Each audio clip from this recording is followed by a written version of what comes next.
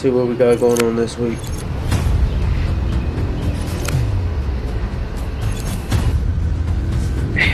It's been 20 weeks of going hard. You know, where I increase my activity, or at where I cut out carbs. And here I am 20 weeks later, no results. 600 calorie deficit, 200, 800, 1,000, 600. Still not losing weight, the numbers have to be off. So we're getting a test done that tells me exactly how many calories I burn naturally. So this proves that he's in a calorie deficit? They kept telling me that these trackers are usually wrong. My Oura ring is accurate. I think it's stress. Like the dude's always thinking about work. Quitting my business isn't an option. We've got to try something new. Can I lose this weight by doing inner work? When we finally soften into our physical practices, our bodies fall into equilibrium. When I'm in a relaxed state, I lean out and I lean out a lot. It's time to do the one thing that we were told to do, but we never did.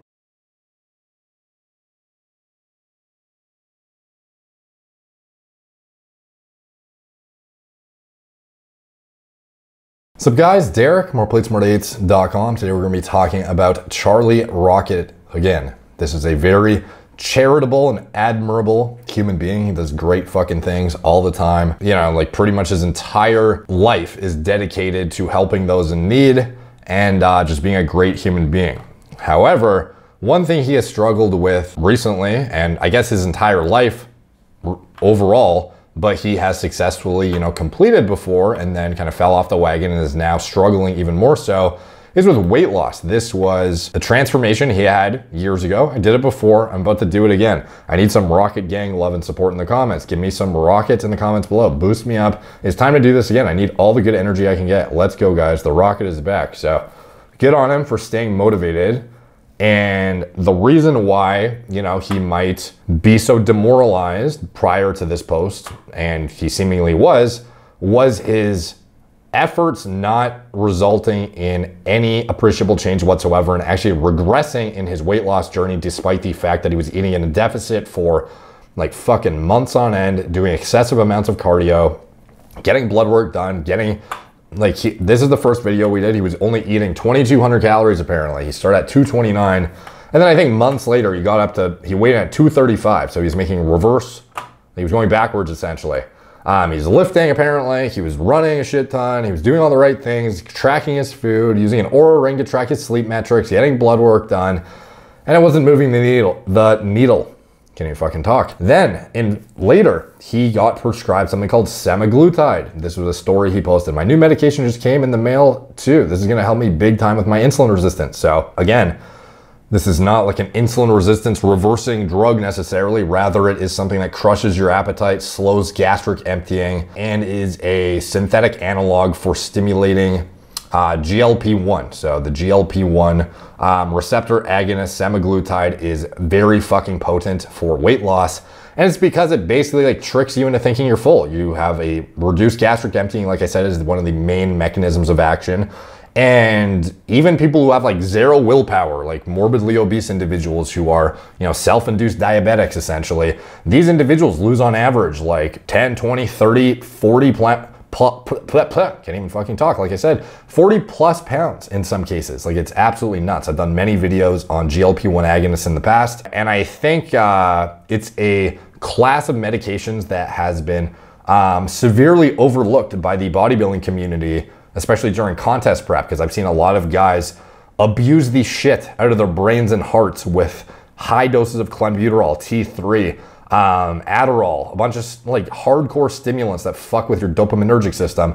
Like so many things that may have otherwise been, I don't know, maybe your risk would have been much lower had you known about something like this. I'm not saying, you know, replace that for this or anything, but it's just interesting that something like this has gone under the radar in the bodybuilding community for so long. And like I hadn't even heard about it until, I don't know, a year ago or so um, when uh, Steve started talking about it first, I think. Um, and we started talking about it on uh, Super Physiological Man podcast, and then I kind of, uh, you know, I tried it myself, and a lot of individuals have uh, seen in real time how absolutely mind-boggling this stuff is in its actual applications in a clinical setting for obesity management. So he got prescribed this not that long ago, and presumably he's been on it, but even that, with the most potent obesity management drug essentially on earth. He is still in the low 230s apparently. So this was, he was 235 um, in February, and then here he is um, in May. La- uh, let's see what the weigh-in is. Last week, 230.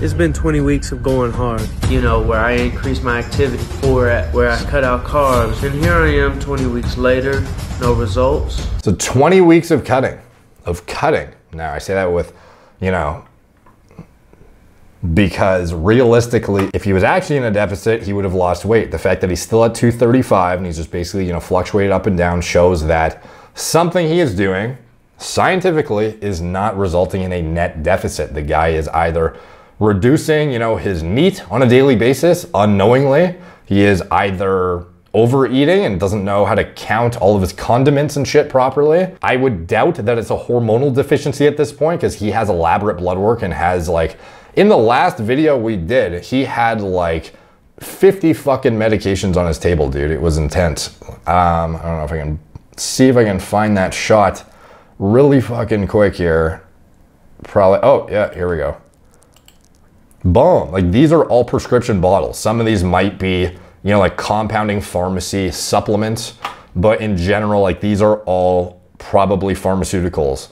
Um, and is there, you know, testosterone in one of these in a vial, in one of these resealable bottles? Is there, you know, thyroid hormones in these? There's GLP-1 agonist somewhere. Um, here's a normal OTC supplement, but this other shit, this is all from a pharmacy. So like the guy has a boatload of pharmaceuticals at his disposal, like presumably whatever deficiencies or imbalances he may have had from an endocrine perspective have been manually corrected and he's still in the same boat, which to me sort of indicates a lack of adequate tracking and or I don't know, like, like what else? What else could it be, bro? Like, to be honest, at this point, um, it's physically impossible for the what he is saying he is doing to um, not be losing weight at this point, unless his body's just fighting back so much that he literally, when he's not on camera, he just like sits there like a dead fucking zombie, essentially. Uh, which I assume is not the case. The guy is uh, seemingly doing a lot of stuff on a day-to-day basis. And he does a shit ton of activity, activity, seemingly. But the diet, you know, I think a lot of people who think they're tracking just aren't tracking correctly, dude. So let's go back to the uh, the video here. So what we got going on this week? In the caption, I know everyone, including myself, has been questioning the numbers and calories. The first thing someone thinks is I don't count or track my calories properly, or someone might assume I cheat on my diet. If these thoughts have crossed your mind, please know I've been under the supervision of four people. We monitor, we track, we experiment, we are at, all at a loss.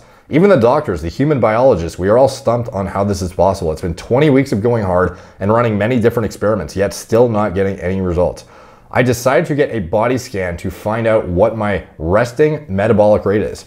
It's 2,184 calories per day. Many people say that the trackers are up to 50% inaccurate.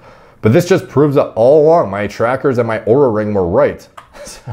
like to me, I don't mean to laugh in like a mean way. I just mean like the Oura ring is not the end all be all when it comes to tracking. Like this is something I use it personally, but it is not something I trust entirely for. Um, like if I wanted an accurate assessment of my sleep metrics, for example, like I would go get a legitimate sleep study done. This is something I can use on a day-to-day basis, so it gives me good longitudinal data because I can't go into a fucking like experimental you know, like clinic every single day to monitor myself. But these kind of like, you know, calorie tracking, like software, devices, the fucking things you wear to bed, like these are not, like go by the scale, bro. Like if your scale is not going up or down, like that is the literal physical representation if you are in a deficit or not. So anyways, he says, I've been burning more calories than I consume 90% of the days during the, this 20 weeks. So like, if that were the case, it would be physically impossible for you to be the same weight. Like that, that's just not the case. I have posted all the body scan results on my stories for y'all to see. So it's time to go all in on the inner work. And it's like, this is the thing that is a bit, you know, unsettling is the fact that he's getting away from practical application tips that are going to actually be utilized from a nutrition perspective or a hormonal optimization perspective because he's seemingly, you know, perfected it all. He's already got the exercise dialed in, he's got the nutrition dialed in, his hormones are dialed in. He's literally on the fucking most potent appetite suppressing drugs at this point. But now he needs to do deep subconscious work. It's honest, open, and vulnerable, but it's the only thing we haven't tried yet. And I honestly think it could be the answer. My body needs to get into a relaxed state. My body needs to let go of stress and tension. When I get into a theta state, my body leans out and the weight starts fall starts falls off. Yes, starts falls off. I did not say that wrong. This past week I've been documenting everything and I've posted all of my stories. I've started acupuncture, Qigong, might have said that wrong. Healing sessions, breath work with Lucas Mack, weekly massages, meditation. I want to take all of y'all on this new journey with me. I know we're going to figure this out because one thing I don't do is give up. So it's like, if the law of thermodynamics did not apply to you, like how would you have gained the weight to begin with that got you to, you know, to the point you're at now relative to where you were at your peak weight loss? Like what happened at this point, you know? So, you know, he's older now. You know, it's entirely possible his metabolism has slowed down, like to some extent. But again, he's not an old guy. Like I think he's in his 30s, and he has the assistance of hormonal support at this point now. Like if anything, one thing I can say, my access to food and my work lifestyle at this point is way more conducive to not losing weight.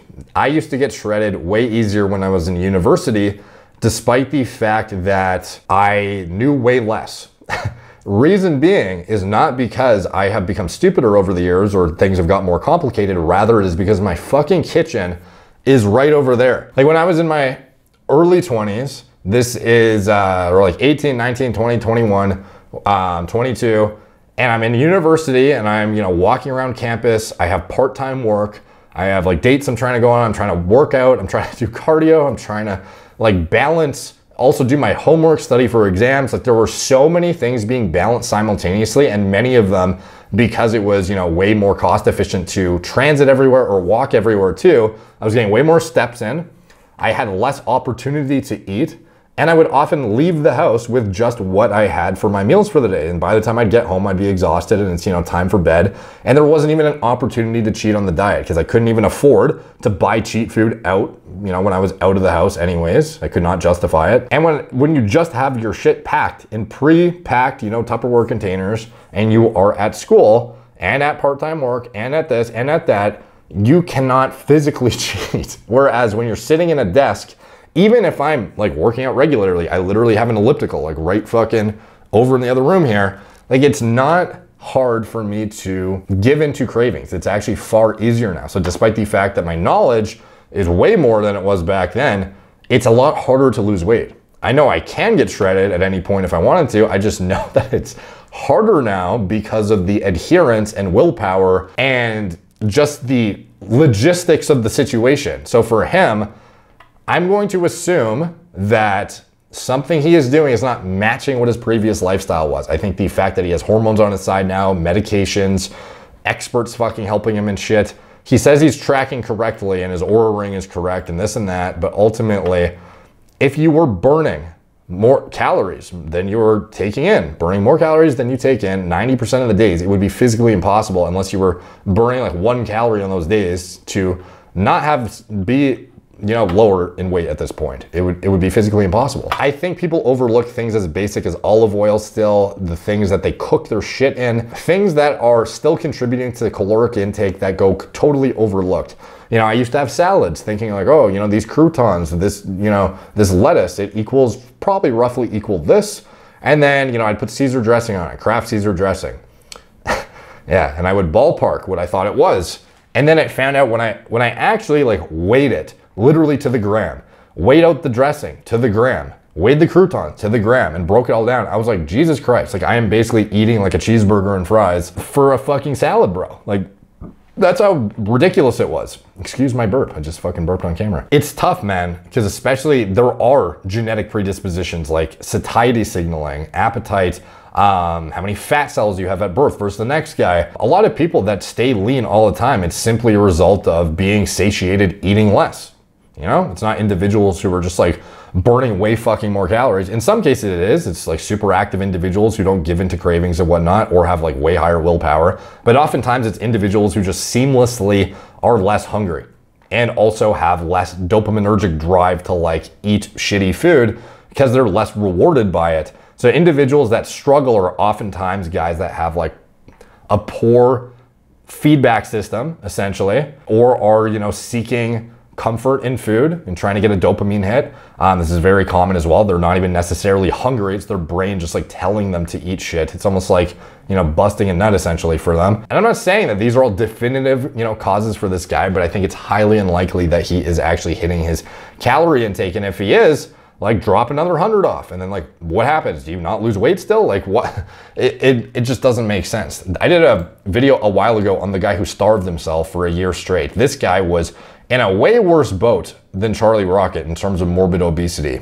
um, let me see if i can find it here perhaps it was in my first video where i discussed the guy who lost like i think it was like 300 fucking pounds or something by not eating for a year like when you actually break it down by um, here we go. When you break it down by 276 pounds in a year. So this guy, these were his pants before, and this is him after. Like he literally ate nothing. So guaranteed calorie deficit. Was this guy in a more metabolically advantageous position than Charlie Rocket necessarily at baseline?